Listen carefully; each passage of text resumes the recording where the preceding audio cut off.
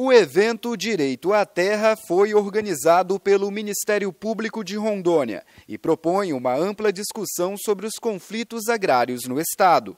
A diretora do Centro de Apoio Operacional da Cidadania, a promotora de justiça Priscila Matzembacher, destaca o papel da instituição nesse debate. O Ministério Público, como defensor da sociedade, né, como responsável pela garantia dos direitos fundamentais, neste caso do direito à terra, né, que é o ponto central que nós estamos discutindo, ele tem o papel principal de fomentar a discussão.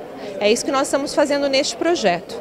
Nós reunimos todos os setores estatais e sociedade civil organizada que tenham é, corresponsabilidade pela temática do direito à terra. Entre os convidados compareceram ao evento representantes do governo do estado, Conselho Nacional de Direitos Humanos, INCRA, Serviço de Proteção da Amazônia e representantes de movimentos sociais ligados à questão agrária, como Nivaldo Ferreira Alves, que é presidente da Associação do Acampamento Canaã de Ariquemes. Nós temos que agradecer porque o Ministério Público tem trabalhado bastante no estado de Rondônia e tem desenvolvido vários trabalhos ajudando nós na área do campo.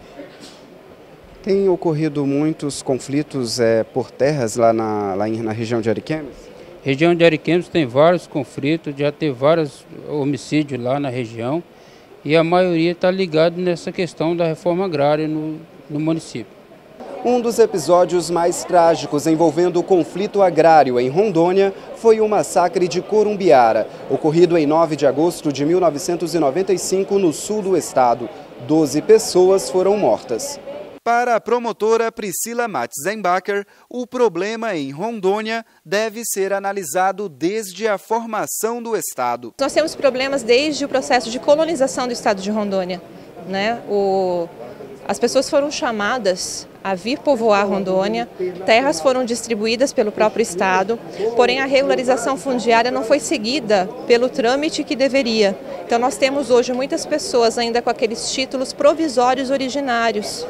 E, e aí acabam sofrendo turbação, né, ou mesmo a fragilidade da, das suas terras. Também faz parte da programação o simpósio Atuação Judicial e Extrajudicial em Defesa do Direito à Terra. Para a promotora Priscila Matzembacher, este evento está sendo um primeiro e importante passo. Nós esperamos que, em primeiro lugar, isso daqui continue, um mergulhar a fim de verificar quais são essas causas e aí elaborar um plano sistemático de enfrentamento. É o que a gente está propondo aqui.